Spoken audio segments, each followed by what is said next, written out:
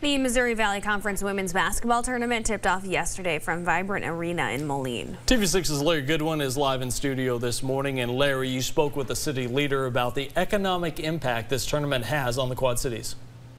Yeah, that's right, guys. The president and CEO of Visit Quad Cities, Dave Herrell, said they're so fortunate that they've had a nine-year run of hosting this tournament in the Quad Cities. And the hoops and the Heartland essence that really kind of wraps the entire tournament around the QC has definitely been a win for our regional economy. It's something that's added a lot of value. I, I think you're realizing about 1.9 million in annualized economic impact. Uh, the hospitality industry really likes this event because in our space and in the tourism world, we call this shoulder season, which is March. And as we kind of transition from January, February uh, into March, it's always good to start seeing some activity in the marketplace.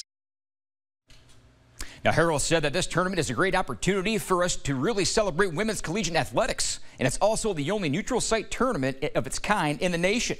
And that it gives us a lot of pride to be able to say the Quad Cities host something like this. Jenna? Larry, thank you. The tournament started yesterday and will go through Sunday with the championship game scheduled to tip off at 1 p.m.